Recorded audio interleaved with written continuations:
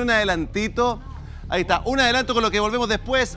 Caso Coimas, cuarto juzgado de garantía se negó inicialmente a allanar la oficina de Hermosilla. Ahí dice, la vocera de la Fiscalía Oriente indicó también que el lunes, un día antes de que se conociera de forma pública, el audio llegó a manos de un fiscal y que el martes se abrió una investigación de oficio. La jueza Andrea Díaz solo accedió al principio al allanamiento contra Daniel Sauer. Tentáculos de Hermosilla, lo que dice mi ley con terminar con las castas. Aquí estamos aburridísimos con las castas también. Nos metemos a la vuelta con Hermosilla Gay. Es el escándalo sobornos, cohechos, servicio de impuesto interno, el CDF, que también hay personas que están suspendidas, allanamiento, incautación, tentáculos de Hermosilla. El canal del fútbol yo pensé que estaba... Caso Coimas, cuarto juzgado de garantía se negó inicialmente a allanar oficina de Hermosilla. ¿Existe canal del fútbol? ¿Está con problema el canal del fútbol? CMF, CMF, CMF, perdón, perdón. Hay que un poquito Em, chuleta. Eli, eh, a ver, explíquenos un poquito qué es lo que está pasando acá, por qué se negó inicialmente a allanar la oficina el cuarto juzgado de Pero por favor, que garantía. al emparte no interrumpa. Y adelante estaba diciendo cosas muy interesantes. Al emparte la interrumpió y no terminó la idea.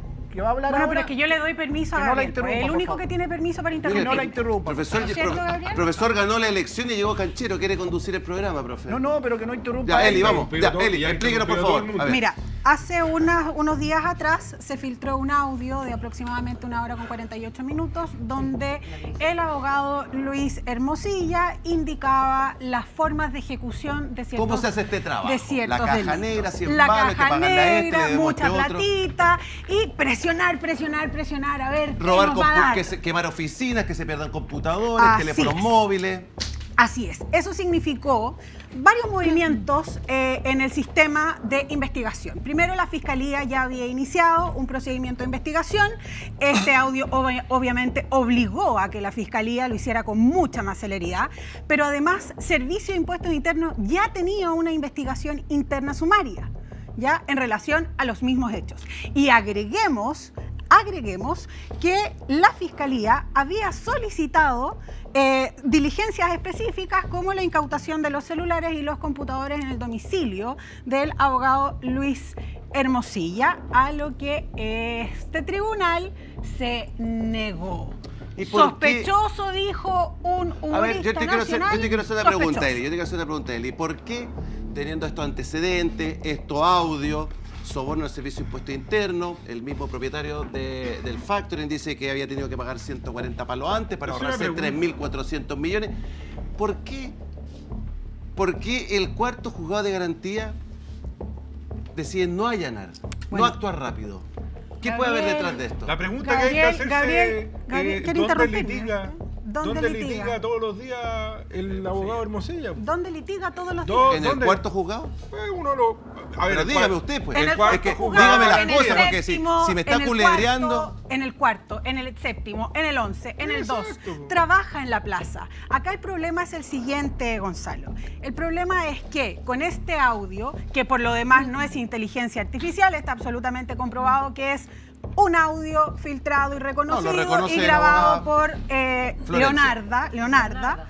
Y por lo tanto, psicópata bien enfocada. Acá debo decir que hay antecedentes nuevos y específicamente la apertura y aprobación de tres comisiones de investigación que se van a fusionar en la Cámara de Diputados. ¿ya? Pero acá hay que hacer una historia, Gonzalo, porque si no, la gente en la casa no nos va a entender qué es esto. Cuando yo dije en un comienzo que la discusión de la prueba y el rechazo estaban escondiendo este tipo de situaciones, bueno, esto si no es lo más grave que ha pasado este año.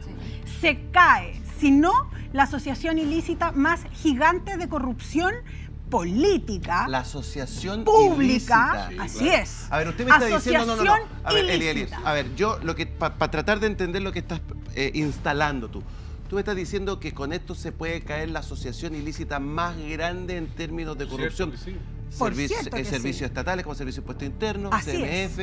Políticos, empresarios. Definitivamente. Si nosotros escuchamos los audios, si nosotros nos damos cuenta de la embargadura de las declaraciones en los audios, habla de hechos ciertos, de que se deben 10 millones acá, 100 millones allá, que le deben a él 500 millones. Es decir, no estamos hablando de un jueguito de números, no estamos hablando de una simple eh, tráfico de influencias. Y ese, ese es mi gran miedo.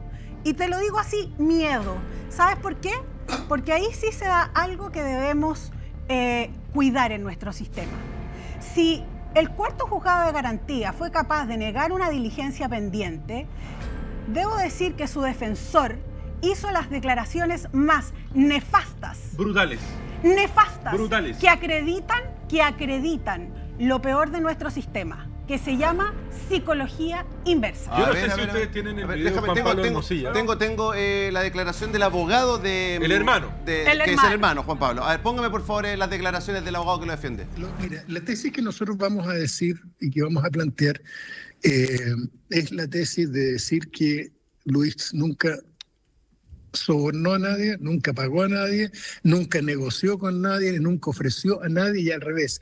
En la parte laboral que él le corresponde, que es la parte de la CMF, en aquella parte al revés lo que hizo fue cooperación total y un reconocimiento completo, sin matices, de las graves faltas que le estaban imputando a su cliente con la CMF.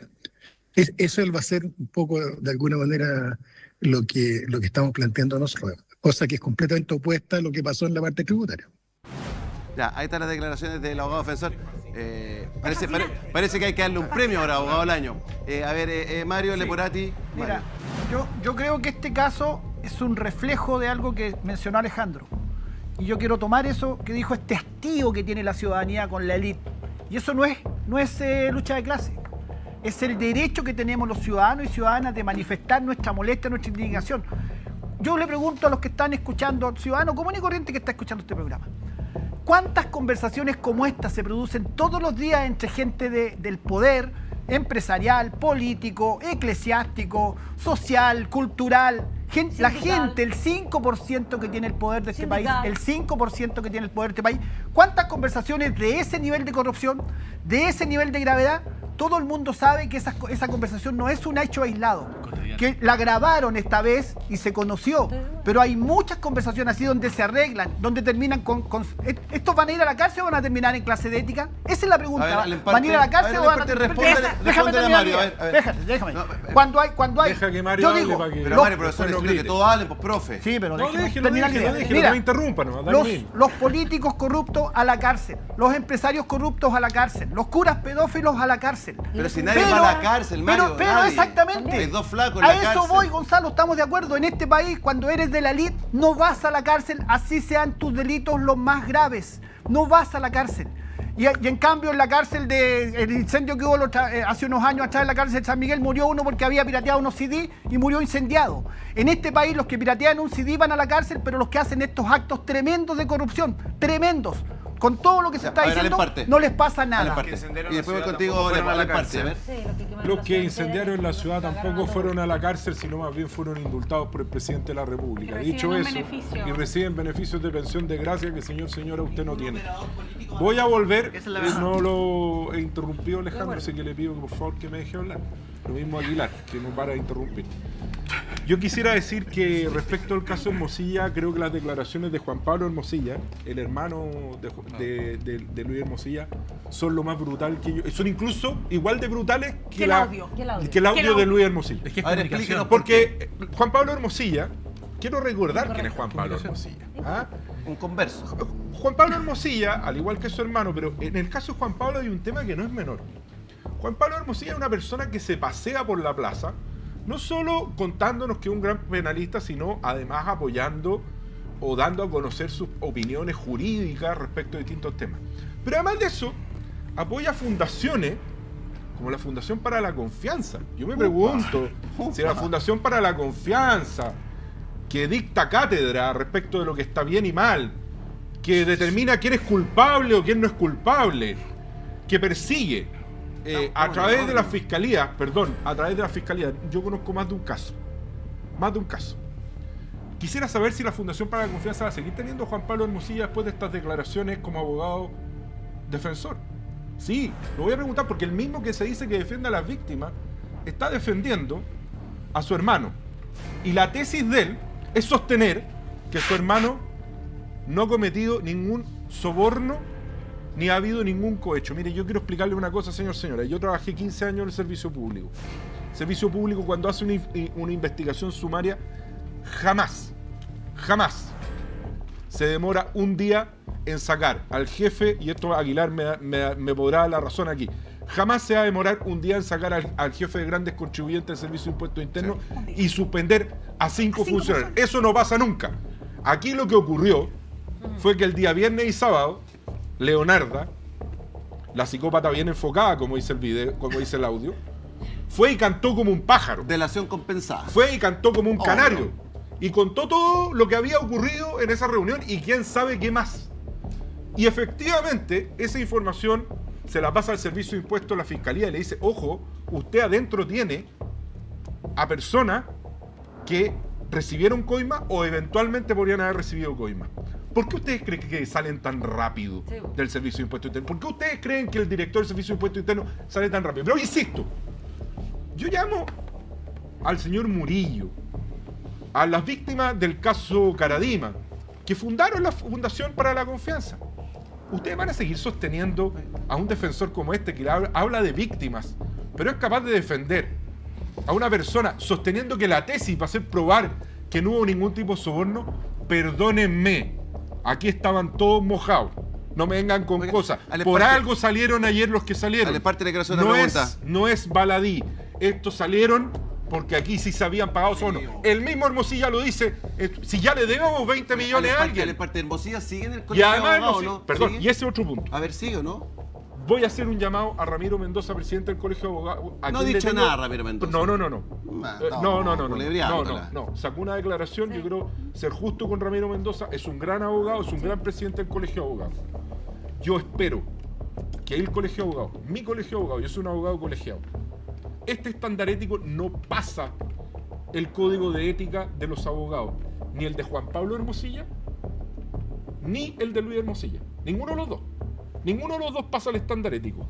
Y lo que corresponde, si ambos están colegiados, entiendo que Luis está colegiado, es la expulsión del colegio de abogados. Y como abogado colegiado voy a hacer lo posible y voy a hacer los llamados que corresponda a que el tribunal del, del colegio de abogados expulse a estos abogados. Esto es inaceptable. Lo que sostiene Juan Pablo Hermosilla aquí es brutal. Dice, nuestra tesis es que no han mojado a nadie. Perdón, que no han mojado a nadie. Si en el audio dice todo lo contrario. Lo que pasa es que lo que van a poder probar. Hay que comprobar. Es que hay que comprobar si pasaron el maletino o no. ¿Cómo comprobamos si pasaron el maletino o no? Ese es el problema que tiene el delito sobre. No, mira, siguiendo un poco tu línea, Gabriel, el tema de la estrategia comunicacional es súper importante. Eh, para que ustedes sepan, los abogados, los bufetes de abogados, eh, por lo menos hace unos 20 años, eh, tienen un área de comunicaciones dentro. Internamente o contratan externamente. Yo de hecho, yo he trabajado con algunos haciendo asesoría. ¿Con Luis? No. No, con Kerry. Ah. Eh, en el fondo, en el fondo no con Luis. En el fondo es súper interesante que lo que viene ahora es lo siguiente. Ustedes van a ver permanentemente los medios de comunicación masivos, en las redes sociales obviamente también, la estrategia de la confusión y eh, elongar, dejar que el tiempo pase, dejar que el tiempo pase, eh, confundir, confundir, porque de alguna forma después vienen nuevas noticias, hay otra información más relevante para los periodistas y este tema va a pasar como siempre pasa en Chile, eh, va a quedar en el olvido, va a quedar en el olvido, van a bajar las penas probablemente eh, y eso va a ser el resultado eh, muy probablemente final. Yo creo, ¿Usted cree que no va a pasar nada? No, yo creo, yo espero que no. Ah, yo espero que no. Para que, para que no juguemos con el cuento de las clases de ética, porque hay que ser, aquí hay que ser preciso. Hace no mucho se aprobó en el Congreso la ley que aumenta las penas, de delito económico y tienen cárcel. Esta vez las clases de ética puede que no... no, si aquí hay formalizaciones y hay cohecho y soborno, a lo menos alguno de estos puede pasar un buen rato. Gabriel, ¿sabes lo que va a hacer? un poquito, pasar al punto más, siguiendo lo, comunicacional. Tú sabes bien, Gabriel, que por experiencia probablemente que es más importante que la sentencia o que el proceso judicial es lo que tú lo que te queda grabado finalmente en las audiencias es lo más importante. Porque la sentencia se fija un día sale en los medios un par de días, una semana y después pasa al olvido.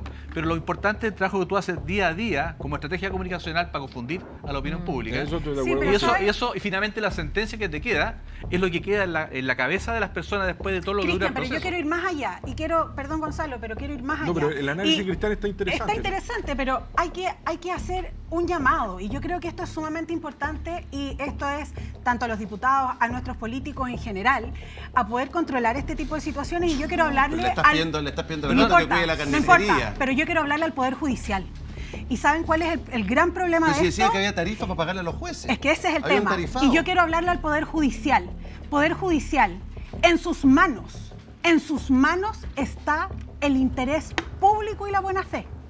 Si ustedes se ven involucrados, si ustedes, ustedes Poder Judicial, Corporación Administrativa y jueces, todos ustedes, si ustedes se ven involucrados de tal forma, de alguna manera, con Hermosilla Gate, fraude Hermosilla, nombren, pónganle el nombre que quieran. Lo único que van a hacer es que todos aquellos procedimientos donde estén involucrados estos colegas, que desafortunadamente debo decirles colegas, van a generar un gran daño al primero al gremio, al país, al interés público. Por lo tanto, señores jueces, con la tesis que él dice que ellos son No Poncio Pilatos y se lavan las manos, ustedes, señores magistrados, van a ser responsables de todo lo que pase en en, esas defensas. Lo que En pasa, lo que cualquier pasa procedimiento. Cuidado. yo entiendo. Cuidado espera, ahí. espera un poquito, espera un poquito. Un dato más cortito. Ayer la encuesta feedback de la UDP, feedback UDP. ¿Qué te dice esa encuesta? Que las personas confían, un 31% de las personas confían en las empresas, un 31% solamente, un 4% en los parlamentarios y un 3% en los partidos políticos. En el fondo lo que estamos conversando hoy en día con usted ahí en este diálogo, básicamente lo que impacta es en la credibilidad eh, y en la La reputación pública. y en la imagen Sí, del sistema. Obvio. Y eso nos lleva al nihilismo. Pero, le parte, brutal, le parte, solo, solo, parte, dame un segundito, aguántame, cachito, solo, solo para, sumarle un par de cosas. Esta señorita, el papá llevaba trabajando 40 años en el servicio de impuesto interno. Ella hace rato viene coimeando y mojando gente adentro. Fíjate que tenía estacionamiento ella en el el servicio de impuesto interno. exactamente. Estacionamiento, sin trabajar en el servicio de impuesto interno. Su marido, profesor de Historia y Geografía, que ayer fue, hace unos días atrás fue desvinculado del Estado, tenía 600 palos en este factory. 600 palos. 600 millones, el profesor de Historia y Geografía tenía 600 millones. Leonarda tenía 400 millones también en el factory. O sea, ellos también son acreedores, les deben mil millones de pesos. Mil. Estamos hablando de que, eh, Alejandro, perdón, estamos hablando de que el origen de esto es la falsificación de facturas. Y esas, falsi- esas facturas falsificadas se factorizaron a través de esta Ah, empresa. Pero para eso se necesita que el servicio de impuesto interno se querelle. Exacto. Lógico, porque si no van a decir que son privados, lo dejan ahí. Así es. Y por eso, tres ¿Se va a querellar o no? Esperemos, pero yo no estoy sí. en el gobierno. No. Esperemos. Acordémonos, aquí no va a Ya, pasar nada. eh, tengo que saludar que a mis no. auspiciadores. Marketplace, nos metemos en tema constitucional, muchachos. Alejandro, Joseph, prepárense porque voy a bajar con ustedes.